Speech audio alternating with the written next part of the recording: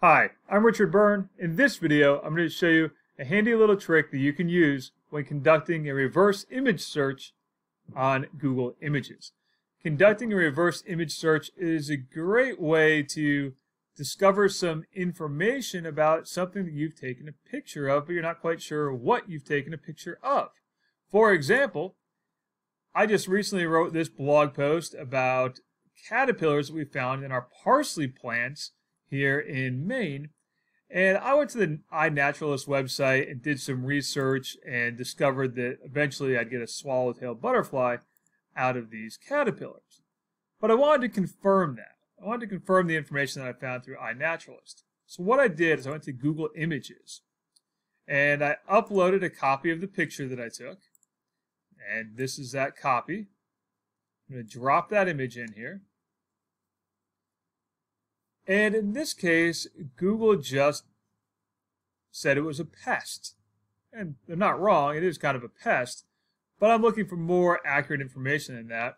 And you can see down here, we see our visually similar images. This one included a bird, that one includes mountain lion, uh, get some other things down here. They're not that great a match. So what you can do when you upload an image like this one is you can add in some keywords to go along with the image that you uploaded.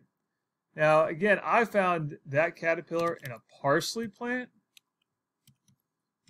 And I know it's a caterpillar that I'm looking for information about. So I add in the words parsley and caterpillars.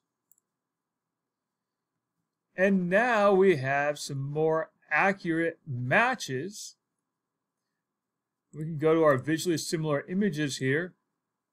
We can see some more accurate matches.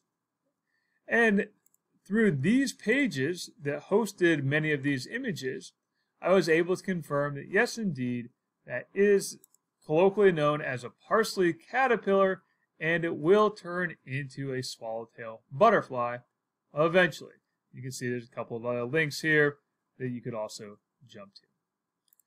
So that's how you can help out Google Images when you conduct a reverse image search.